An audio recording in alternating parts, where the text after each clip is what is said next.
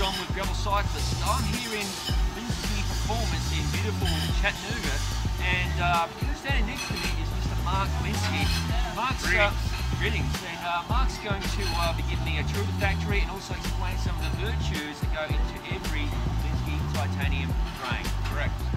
Okay, so here we are. You know, this is what I'm going to call the CNC area, small parts.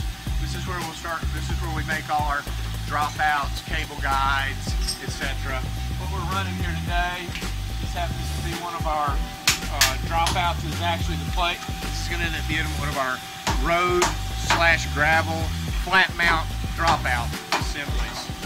This, this starts life over behind you is our water jet machine where we cut the blank out of a piece of plate. And it comes over here, goes through this CNC process where we're, we're doing final machining on it, doing a little engraving, drilling and tapping some holes, creating the mounting and surface area for the replaceable hanger. On this side of it, you notice this arm's a little longer.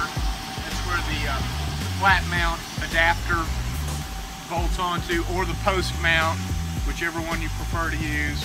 That's what goes on in this part of the world. All right, now we're getting ready. You've seen where we create the small parts. Now we're getting ready to talk about the frame. It all starts for us with job packets that are created that define what model we're going to be making, its size, how many of them. And as you can see right in here on both sides of me, uh, in our very sophisticated storage bins, the job packets and the base tubes have been cut for whatever it is that we're going to be build, building. After the tube set's been cut, then the next thing is all the forming and cold working and shaping that needs to go on start to really turn it into a bicycle tube set.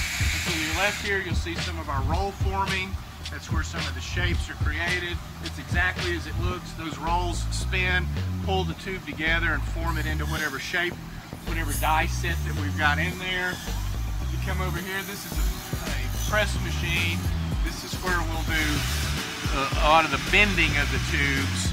Well, we do we bend tubes two ways, either with a bending machine or with a press die. Here would be a press die. Here's where some of the dies are stored. Here's some of the end result as an example. This is for a Cooper CX. This began life as a straight tube. It was put under here with a die, comes down, hits it, and the operator puts it up against the drawing to check is a quality assurance check. Do I have my bends, etc everything correct. From there, all this is going to go into mitering. Now we're in the mitering department. We've got the tubes cut, we've got the tubes shaped. Now it's time to miter the ends so that they all lay together to form the shape of the frame, the geometry, etc. As you can see down through here, we've got individual work stands that all represent a different model and shape. These over there. Up here is the front triangle mitering. So we're cutting down tubes, top tubes, seat tubes. On further down in the flow, the chain stays and seat stays are done. And then at the very end of this, now we're going to have a complete tube set ready to weld.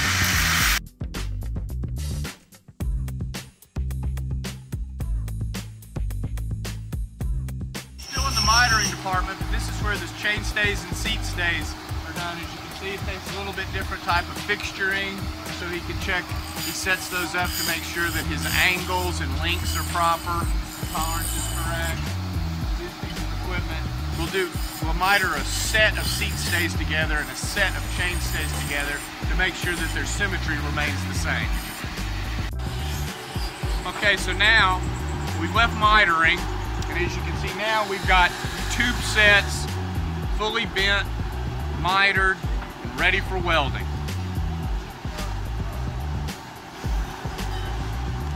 Right, now we're in the first stages of welding. One of the first thing we do is weld the bottom bracket shell to the seat tube. We do that so that 100% of the bottom bracket and the seat tube can be welded together.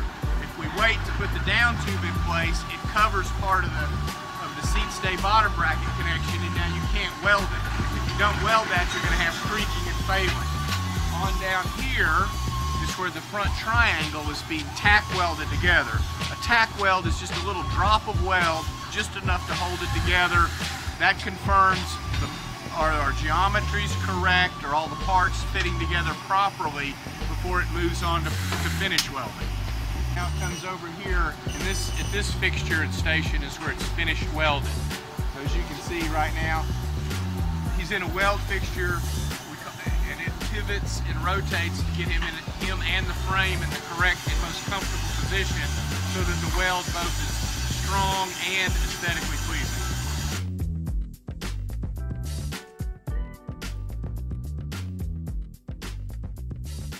We've got the front end welded together. Now as you can see here in these pictures, this is where the rear end, if you will, is fitted and welded to the front triangle. And it's also where the cable guides, etc., water bottle boxes, rack mounts are also installed and welded.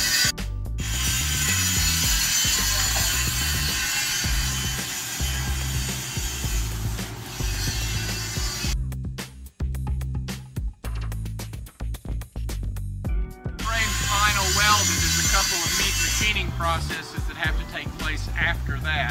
One of them is this machine takes care of checking re and retapping the threads in the bottom bracket shell. This machine over here takes care of spacing and making sure the bottom bracket cups are, are that the width of the bottom bracket shell is correct and that they're parallel and perpendicular with the ground and the crankshaft.